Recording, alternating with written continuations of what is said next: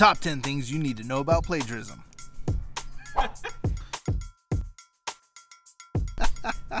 Number one, plagiarism is considered theft. So we looked at thesaurus.com, cite that, for some other words that describe plagiarism. Uh, in copyright infringement, stealing, piracy, being a jerk face was listed there.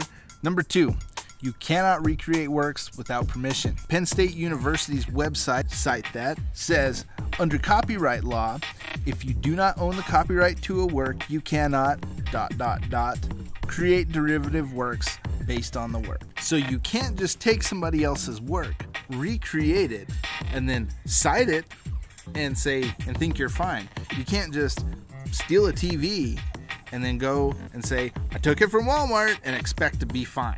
Number three, the work has to be destroyed. So, according to Title 17, Chapter 5 of the United States Code, if you violate a copyright, you can't just be like, oops, sorry, let me post a little something down here and then everything's fine. The work has to be destroyed.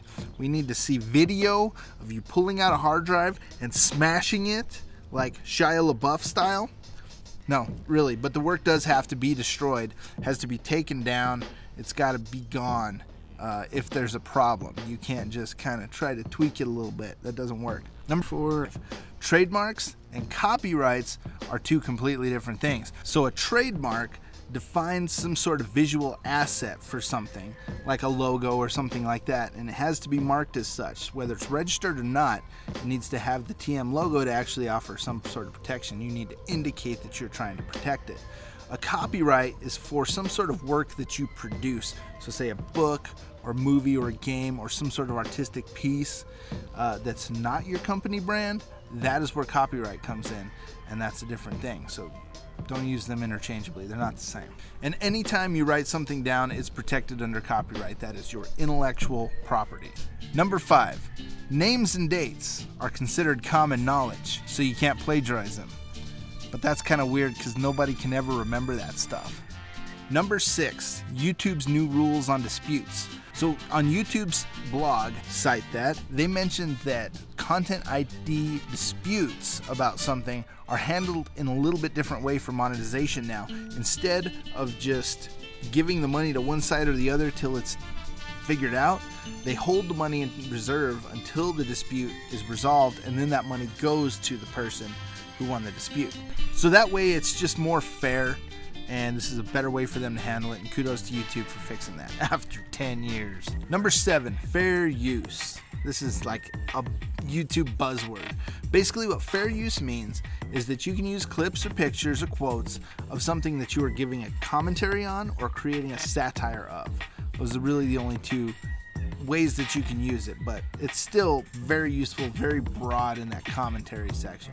So a good example would be like a news channel or the YouTube drama channels, if you want to call those news. They take a video and they talk about it and they're able to use that pieces of that video for commentary on that video. That is fair use.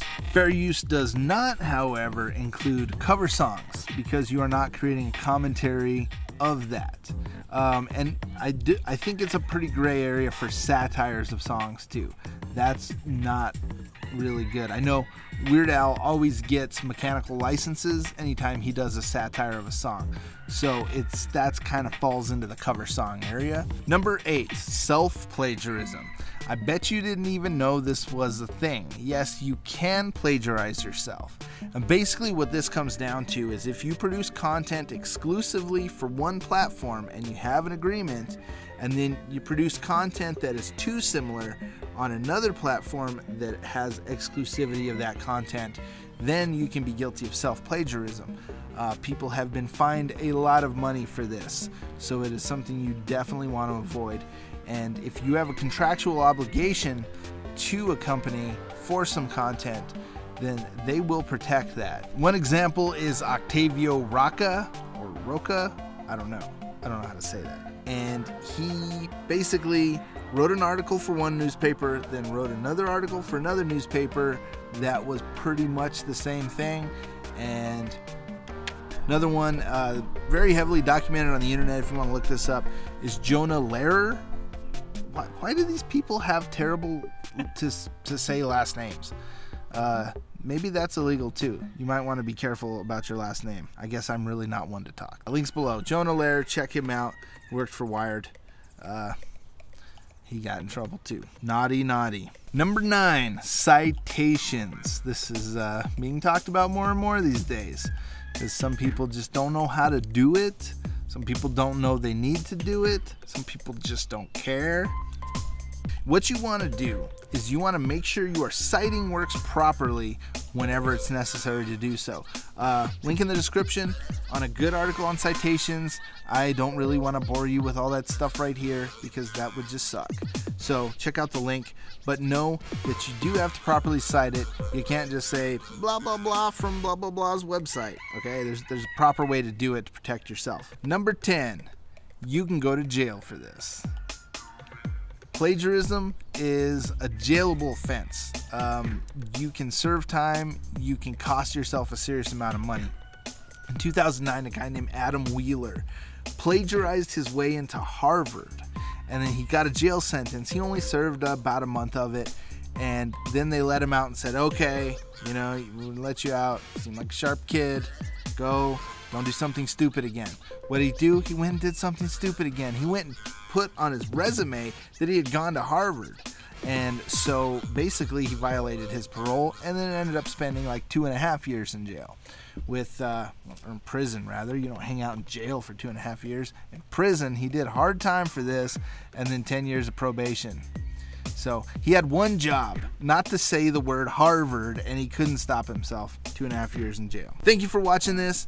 Stay safe, stay smart. Okay guys, thank you so much for watching this video. If you check out the next video we're gonna do, we're actually gonna have a discussion of why this is really important for us small YouTubers to get right, right off the bat, and not have any problems with our videos. Yeah, it's important. You wanna start your career off on the right foot, you can make errors early on that jeopardize you down the road. So, so we just want to help you be smart. Yeah, so we'll be having a little shirt. I forgot to put one on. But anyway, we'll be having a little discussion about this whole plagiarism and other stuff like that in the next video. So be sure to check that out. It's coming out later this week. All right, guys, thank you so much. We'll talk to you. And don't forget video. to say hi to the roosters in the comments. Yeah. Love those roosters. They've been saying hi to you the whole time.